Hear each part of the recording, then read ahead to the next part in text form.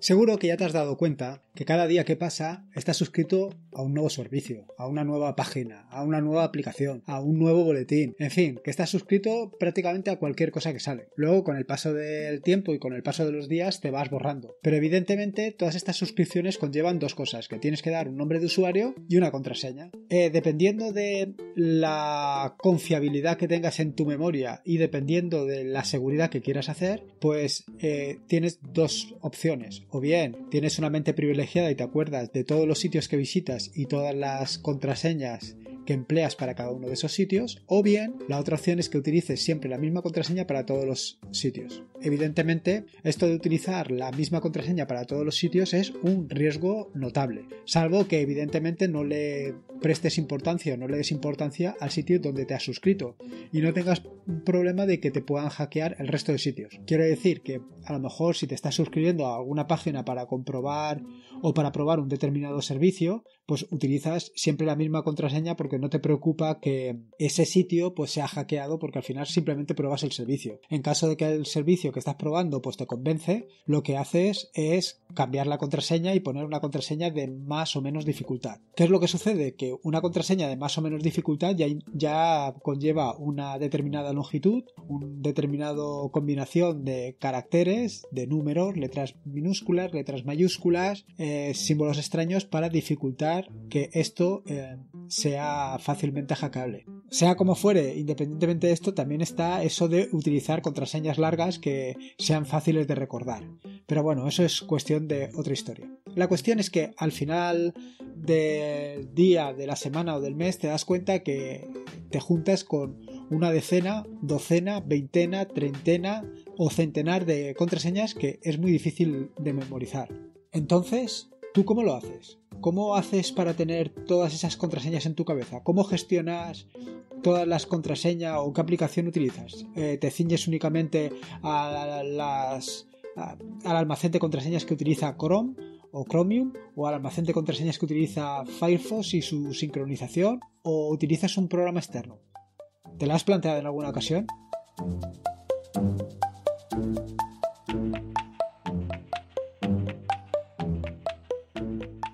Soy Lorenzo y esto es atareado.es versión podcast. Este es el episodio número 45 del podcast, un podcast sobre Linux, Ubuntu, Android y software libre.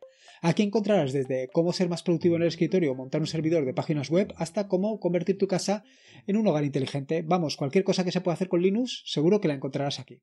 Hasta hace poco eh, había sido un fiel usuario de Chromium o Chrome, depende de la época. Primero fue Chrome, por aquello de que tienes todas tus contraseñas eh, sincronizadas en todos los sitios, quiero decir, en el móvil y en el ordenador.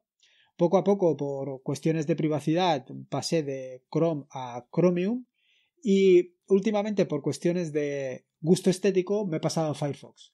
Me gusta más cómo Firefox está gestionando las cosas y cómo funciona. El problema que tengo es que, eh, bueno, tengo dos problemas. Uno es que, por desgracia, en el trabajo eh, tengo que utilizar Windows y en Windows la verdad es que Firefox no va, no va fino. O por lo menos la versión que tengo yo de Firefox y la versión que tengo yo de Windows. Y es un problema. Y por otro lado hay otro problema adicional y es que todas las contraseñas que utilizas con el navegador Firefox pues no las tienes en, eh, en tu móvil Android, a menos que tú utilices también el navegador Firefox en Android.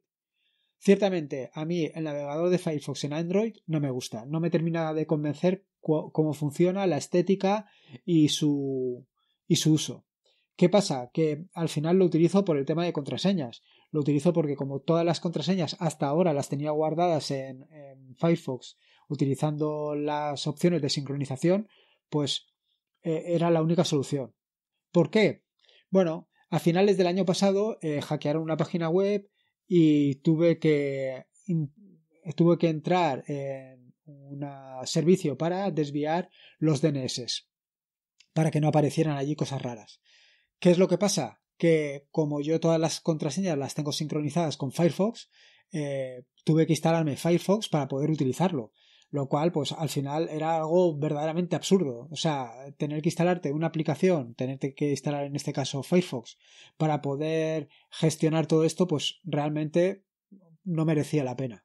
Durante un tiempo he estado conviviendo con ambas, eh, con ambos navegadores, es decir, con Chrome y Firefox en el, en el móvil Android, pero al final pues me he decidido a, dejar básicamente Firefox porque no me gusta cómo funciona, como he dicho. Entonces, eh, en estos últimos días, en más bien semanas, he estado buscando una alternativa que fuera, digamos que, suficientemente funcional para mí.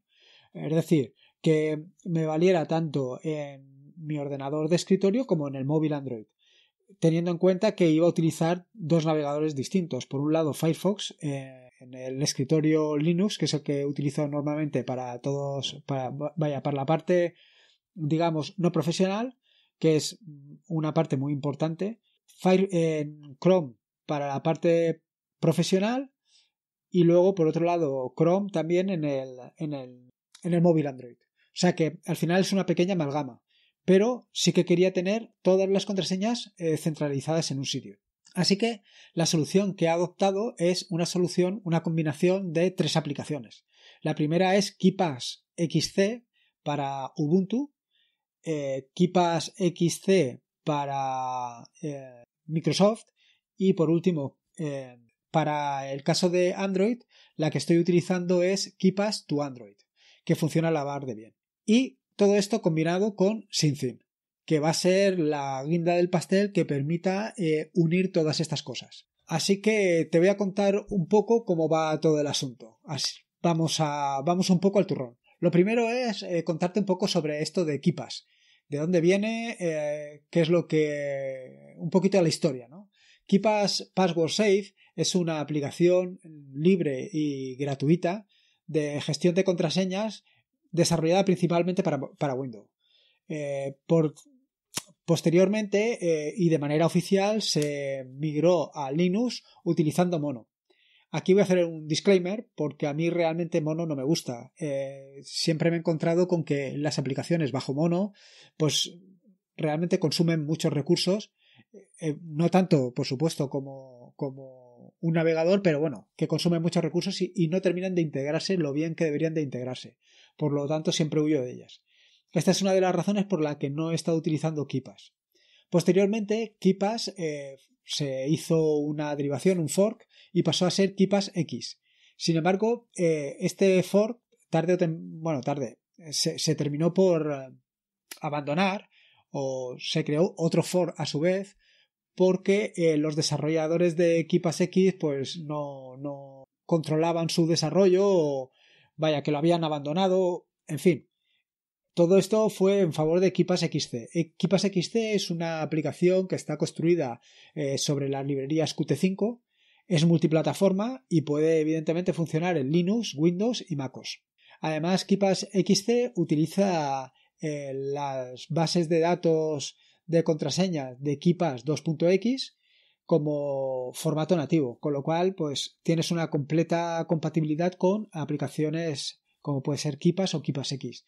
Y esto siempre es una ventaja. El inconveniente de Kipas XC, al igual que los anteriores, em, es que no es em, no está disponible o no tienes almacenamiento en internet, con lo cual te obliga a que tu base de datos de contraseña esté en todos los equipos que vas a utilizar. Es decir, tienes que de alguna manera sincronizar todo esto. Y aquí es donde, como verás más adelante, va a intervenir SyncTheme. Además, KeePass XC tiene la característica de permitir eh, utilizar eh, eh, archivos como contraseña o incluso una UBK.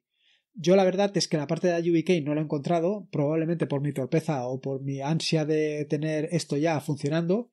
Y la parte de las contraseñas por, por archivos me ha parecido bastante interesante. Lo que pasa es que sí que no le he visto soporte en Android, con lo cual me ha parado un poco. Te tengo que decir que para esto de la contraseña por llave se me había ocurrido una idea bastante, eh, no sé si absurda o estúpida o una combinación de todo. ¿Vale? Es más, la he llegado a, poner en funcionamiento hasta que me he dado cuenta que tenía un problema con Android. La cuestión es que lo que he hecho ha sido generar unos 100.000 archivos con diferentes cadenas de caracteres diferentes cadenas de caracteres que eran unos 100 caracteres puestos de manera aleatoria eh, o seleccionados de manera aleatoria mejor eh, de letras minúsculas, mayúsculas y tal. ¿Qué era la operación? Pues la operación es que tú tienes que seleccionar uno de los 100.000 archivos y ponerlo como llave de contraseña, como contraseña. Es decir, más o menos es como utilizar eh, un PIN de, en vez de cuatro dígitos de seis. Y bueno, me ha parecido curioso eh, hacerlo. Pero ya te digo, al final, eh, por, por dos problemas. Uno, porque en, en, la aplicación de Android no le he encontrado cómo funcionarlo y luego la siguiente, el problema de la sincronización de los 100.000 archivos, que al final la tontería era como 1,5 gigas o una cosa así. en fin, bueno, esas cosas que de vez en cuando se me ocurren que más de uno ya me ha eh, tildado o me ha acusado de reinventar la rueda. Pero al final, pues la curiosidad y las ganas de aprender y disfrutar es lo que tiene. Eh, respecto a KeePass XC, tengo que añadir otra cosa más, y es que eh, la Electronic Frontier Foundation ha recomendado KeePass XC como una herramienta de gestión de contraseñas eh, ejemplar, eh, una cosa que hay que tener en cuenta. Respecto al funcionamiento de KeePass XC, bueno, la verdad es que es realmente sencillo de, o sea, realmente sencillo de utilizar. No tiene más que crear una base de datos de contraseñas, establecer una contraseña maestra, que será la que controla a todos, es decir, lo mismo que el, el, Señor de los Anillos, un anillo que los gobernará a todos, pues esto, una contraseña que las gobernará a todas y, poco más. Eh, ahí lo único que tienes que hacer es establecer cada una de las contra, o sea, poner un título para gestionar la contraseña, el usuario, eh, la contraseña y la dirección URL que vas a utilizar. Bien fácil, bien sencillo. ¿Qué problema le encontraba yo todo esto? Bueno, el primer problema que le encontraba es que, claro, evidentemente esto normalmente lo utilizas con aplicaciones Android y con páginas web. Entonces, para el tema de las páginas web, cada, para cada uno de los, de los navegadores principales, por lo menos para Firefox y para Chrome barra Chromium, existen sus correspondientes extensiones que tú lo único que tienes que hacer es instalarlas en la aplicación y ellas se eh, hablan con la base de datos, con Keep KeePass XC, de manera que mientras tú tengas KeePass XC abierto y funcionando, todo esto está bien engranado. Quiere decir que eh, el complemento para Firefox o el complemento para Chromium se habla con KeePass XC y ya lo tienes solucionado. El siguiente problema que, con el que me he encontrado ha sido con que, claro, todas mis contraseñas o bien estaban en Firefox o bien estaban en Chrome, ambas separadas. Sin embargo, eh, tanto Firefox como Chrome permiten exportar tus contraseñas en un fichero CSV, un fichero de estos mm, separados por coma, ¿vale? Entonces los he, los he exportado a CSV y luego los he importado cada uno a una base de datos, porque KeePass eh, no te permite importar de dos archivos CSV distintos. Tienes que importar cada archivo CSV a un su correspondiente archivo de contraseñas. Y luego lo que sí que te permite KeePass XC es combinar ambos archivos en uno solo. Una vez ya tengo hecho esto, el siguiente paso ha sido primero borrar todas las contraseñas de Firefox, que eso ya lo tengo resuelto. Y ahora me quedaba, porque además eh, Firefox te permite borrarlas de una, de una tacada. Es decir, seleccionas la opción correspondiente y las borras todas. El siguiente problema con el que me he encontrado es borrarlas en Chrome que hasta el momento todavía no, he dado con la tecla. Tampoco es que haya buscado mucho, seguro que hay alguna manera para hacerlo sin que sea necesario ir una por una, lo cual me parece realmente tedioso. Una vez ya tengo resuelto esto, es decir, ya tengo todas mis contraseñas en un solo archivo, el problema es, ostras, y ahora, cuando esté en el trabajo o cuando esté eh, con el móvil y cuando esté en casa, ¿cómo puedo hacer para tener siempre la misma base de datos, una base de datos que esté sincronizada? En muchos sitios he visto que la solución que aportan es tenerlo en un servicio en la nube, ya sea eh, Google Drive, ya sea Dropbox o cualquiera de estos servicios. Pero evidentemente esto me parece una absoluta majadería, para esa solución yo realmente lo que hago es mantenerlo como lo tengo. Lo tengo en Firefox, por ejemplo, y está sincronizado mediante Firefox, lo cual es bastante más seguro desde mi punto de vista que otra solución de estas que al final es una combinación. Sin embargo, eh, al final me he acordado de SyncThing, gracias a que Yuki que es bastante insistente con este tema y digo, bueno, pues tan sencillo como en el NAS que tengo he puesto SyncThing y lo utilizo como zona central de sincronización, de manera que eh, la base de datos la sincronizo con el NAS y luego desde el NAS la sincronizo al móvil. Así siempre tengo todas las posibilidades resueltas y siempre sé que en el NAS tengo una copia de seguridad que está allí permanentemente. Evidentemente, esto también lo había hecho con los 100.000 archivos que había creado. ¿Qué es lo que pasa? Que evidentemente eh, eh, sincronizar 100.000 archivos absurdos que no contienen prácticamente nada más un archivo que es el que contiene la base de datos, pues al final era algo como, pues, pues eso, lo que acabo de decir, algo realmente absurdo. Y al final, pues lo que he hecho ha sido borrar los 100.000 archivos y todavía no he puesto una contraseña suficientemente segura, es una contraseña que estoy en pruebas, pero iré a una contraseña de estas largas que son contraseñas de, pues es una frase y ya está, que es relativamente sencilla de recordar y más complicada de, de hackear o de craquear o de reventar, hablando en Roman Paradin, que una combinación de letras y números con caracteres extraños. Y más o menos esta es toda la historia de cómo me he pasado de utilizar eh, la solución de Firefox a utilizar KeePass XC. Creo que es una muy buena solución y sobre todo porque al final dependes única y exclusivamente de ti. Y ya no dependes de que te tengas que de que estés utilizando un, navegador en concreto. En un momento determinado por tus circunstancias coyunturales puedes estar utilizando eh, Firefox o porque por ejemplo como en mi caso en, en el caso de Windows pues realmente Firefox pues no termina de funcionar lo bien que debería. Y sin embargo pues en, en Linux la verdad es que Firefox para mí es la mejor solución con, eh, con diferencia. También eh, otra característica que tiene bastante interesante KeePass XT es que tiene una, un cliente de terminal, con lo cual también lo puedes utilizar desde la terminal. ¿Qué, qué inconveniente eh, tiene utilizarlo desde el terminal? Bueno, pues el, el, inconveniente que he encontrado es que cada vez que necesitas utilizar una contraseña tienes que pasarle la, tienes que pasarle la contraseña maestra. Evidentemente esto para el uso de para el uso de script no es la mejor solución, porque al final lo que vas a hacer es dejar tu contraseña escrita directamente en, eh, en el script. Claro, esto es eh, como vender caramelos en la puerta del colegio. Te lo van a quitar seguro. O sea, es que es. Yo en su momento creé una solución eh, implementada en Python que lo que hacía era utilizar el, el sistema, el anillo de claves que de Nome y con el anillo de clave de Nome lo que, lo que te permite es utilizar todas las contraseñas que hay dentro del anillo de claves.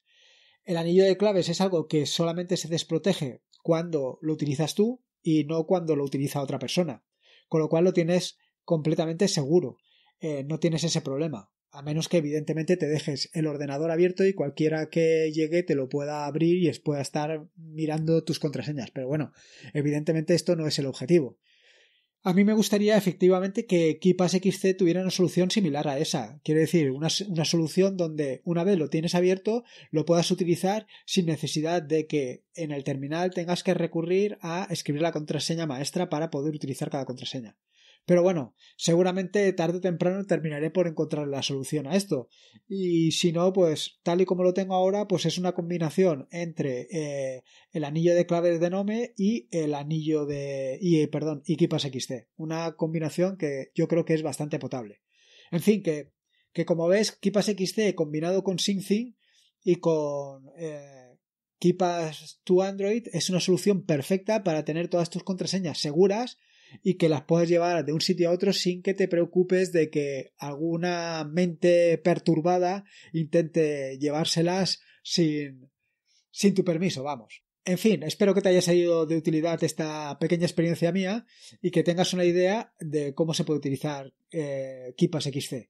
También me gustaría que me comentaras si qué solución estás utilizando tú para mantener tus contraseñas o que o si simplemente tienes la típica contraseña 1 2 3 4 5 6 7 y 8 para todas tus páginas web o tus servicios que tienes contratado o simplemente una contraseña como contraseña.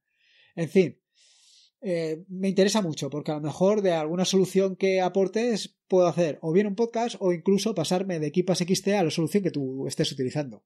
Eh, se me había olvidado comentarte una cosa. El jueves de la semana pasada no publiqué el podcast, pero no lo publiqué por un error brutal. Y es que pensaba que el jueves era el miércoles. La cosa es que tenía grabado el podcast y me pasé tan tranquilamente el día hasta que me di cuenta que efectivamente era jueves. Y al ser jueves, claro, ya me había saltado el día de emisión. La verdad es que lo lamento muchísimo porque sí que me gusta ser muy puntual con el tema de las, de las publicaciones. Pero bueno, espero que seas comprensivo y me perdones esta vez. Nada, en las notas del podcast que, encontrarás en atarea.es están todos los enlaces que he mencionado a lo largo del mismo. La verdad es que en este capítulo no he mencionado ni gran cosa, simplemente Kipas XT y algunas referencias a sus antecesores, Kipas X y Kipas. Eh, pero bueno, allí seguro que encuentras. Además, sí que, sí que eh, dejaré en las notas el tema del, de la aplicación esta que utiliza el anillo de claves de, de, Nome por si, por si quieres echarle un vistazo o quieres mejorarla o quieres hacer lo que consideres. Te recuerdo que puedes encontrarme en atareado.es para lo que tú consideres o para dejarme alguna recomendación de alguna aplicación, para comentarme qué aplicación de contraseñas estás utilizando o para sugerirme alguna extensión para Nome o algún script, en fin, para cualquier cosa. Pásate por allí y me das tu opinión también sobre el podcast. Me interesa saber eh, mucho sobre cómo ves el podcast, si quieres que tengo que tratar algún tema o lo que consideres. Recordarte por último que esto es un podcast asociado a la red de sospechosos habituales. Suscríbete en el feed feedpress.me barra sospechosos habituales y poco más. Eh, recuerda que la vida son dos días y uno ya ha pasado, así que disfruta como si no hubiera mañana y si puede ser con Linux, mejor que mejor. Me quedo aquí eh, preparando el siguiente podcast para emitirlo el jueves con puntualidad y no, y no cometer el mismo fallo de la semana pasada. Venga, nos oímos el jueves. Un saludo.